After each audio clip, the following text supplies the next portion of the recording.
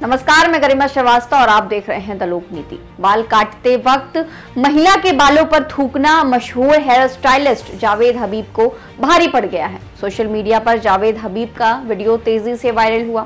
यह video viral होने के बाद देश में सियासत शुरू हो गई।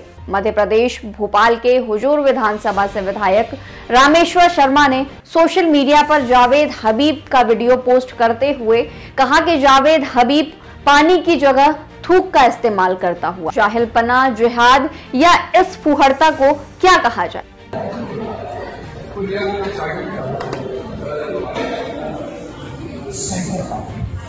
देखा, मेरे बाल गंदे हैं। और गंदे क्यों हैं? शैम्पू नहीं है। इसको ध्यान से रखो, ध्यान से सुनो। और अगर पानी की कमी है ना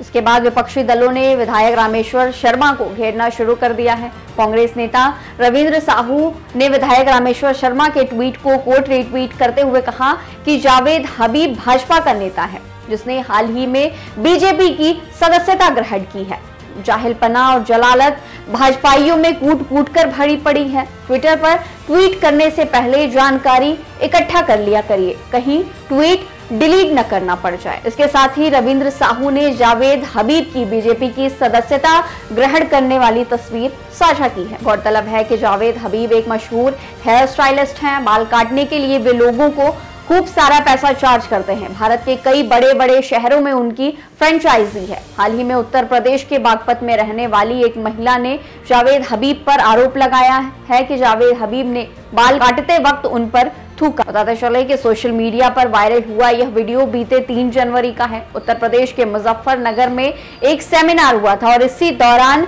जावेद हबीब ने एक महिला को बाल काटने के दौरान स्टेज पर बुलाकर उनके बालों पर थूका था।